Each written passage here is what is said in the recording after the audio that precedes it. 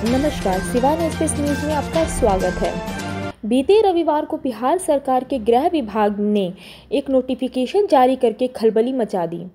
बिहार सरकार के गृह विभाग द्वारा जारी नोटिफिकेशन में 1990 बैच के आईपीएस अफसर राजविंदर सिंह भट्टी को बिहार पुलिस का नया डीजीपी नियुक्त किया जाएगा, जबकि उन्नीस सौ नवासी बैच के आईपीएस अफसर आलोक उनसे सीनियर हैं।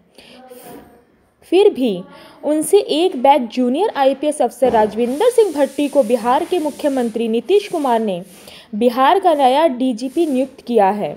वजह साफ़ है, बिहार में फ़िलहाल चल रही लॉ एंड ऑर्डर की समस्या जिसमें राज्य में हर जगह लूट, मारपीट, चोरी, डकैती और मर्डर की घटनाएँ आए दिन होनी हैं।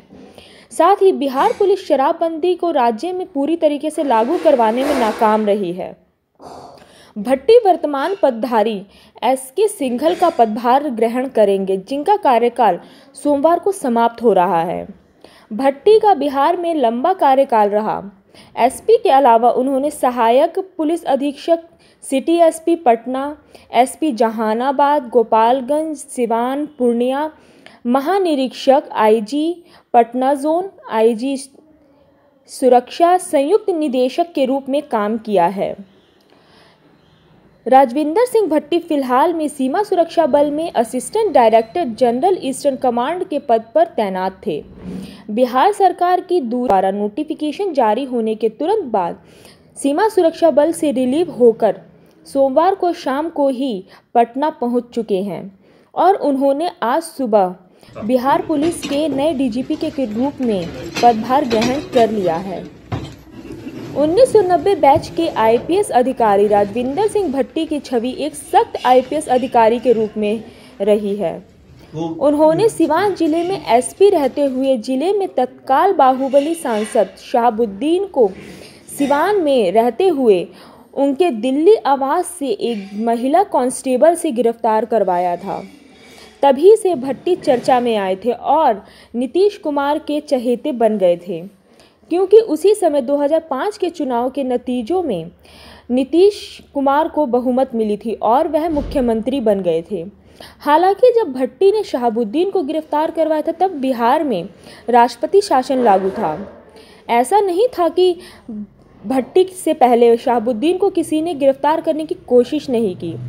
भट्टी से पहले सिवान के तत्कालीन एसपी रत्न संजय और डीएम सी के अनिल ने कोशिश की थी, जिसमें गोलीबारी भी हुई थी, लेकिन कामयाबी नहीं मिली। फ़िलहाल एसएसबी में इंस्पेक्टर जनरल पद पर तैनात हैं।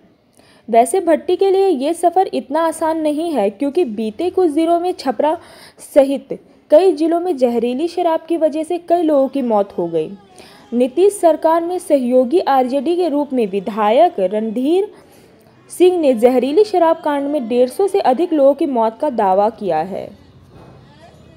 दोषी होगा।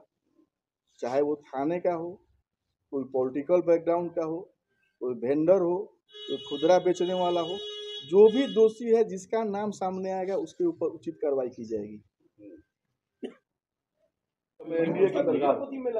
डीएसपी भी नहीं बन पाए थे अभी शायद डीएसपी भी बाद में प्रमोशन भी नहीं हुआ उनका इसलिए उस समय रेलिवेंट इसका कॉपी दे रहे नहीं हम तो, तो आप आप थोड़ा लेट पहुँचे हैं। हमने पहले ही कहा है कि मरने वालों का संख्या डेढ़ सौ से ज़्यादा है। और सरकार के तरफ़ से कोई नहीं आया इसका क्या मतलब है? हम खुद सरकार के साथ हैं हम गए हैं। वहाँ के स्थानीय विधायक केदारनाथ सिंह जी गए हैं। जनक सिंहपुर ये मुंदिरका यादव वहाँ के राजद के पूर्व विधायक हैं। तरिया क्षेत्र में ईसवापुर प्रखंड में जहाँ भी मौत हुआ, सिसवा हो या आपको अटौली हो, महुली हो, हर जगह वो गए हैं।